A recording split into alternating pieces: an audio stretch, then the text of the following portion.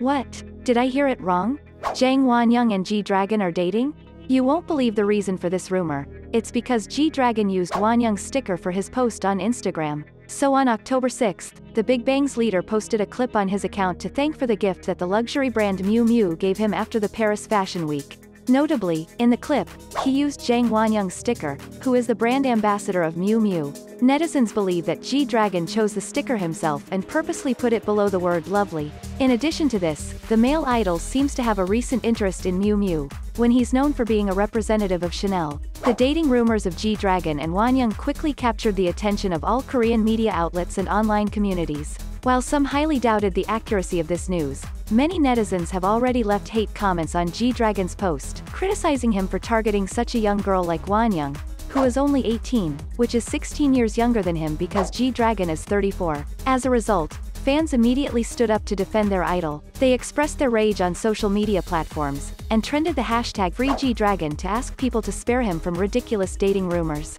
Fans also called out YG Entertainment as the agency keeps doing nothing about their artists' dating rumors, letting G-Dragon's name and image continuously being destroyed by those malicious accusations. Well well well, so it turns out Crush is not the only one being bashed for his alleged racism against black fans. But BTS J-Hope also got entangled in this controversy after it's reported that he liked Crush's explanation post on Instagram.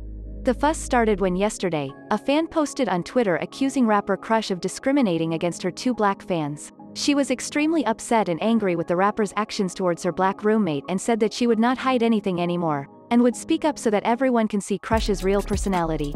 According to this fan, when exchanging with the audience, Crush happily touched hands with fans under the stage. However, when he saw two black fans, he quickly withdrew his hand, made a no sign and then continued to touch hands with other fans. It looks like he was taken aback by the darker skin color of that fan and instinctively reacted.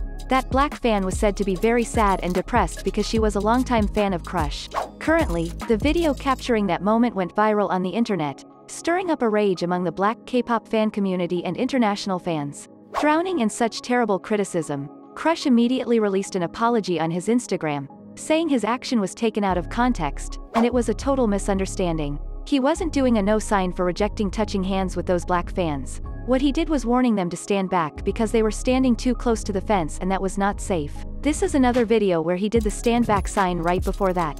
Still, the OP of the first video has refuted Crush's explanation, and netizens continued bashing him and labeled him racist. If this is true, Crush's career would be doomed and God knows what Joy would feel about this. However, looks like BTS J-Hope doesn't lie among those who believe the OP it's reported that the male idol pressed the like button on Crush's explanation post, and this immediately led to another wave of criticism towards him. Netizens think J-Hope was trying to defend Crush from such a serious accusation, and also labeled him racist. Until now, no other relevant statements from either artist or their companies have been made since this article's release. What about you? Do you think Crush really refused to touch hands with those black fans, or is it just a huge misunderstanding?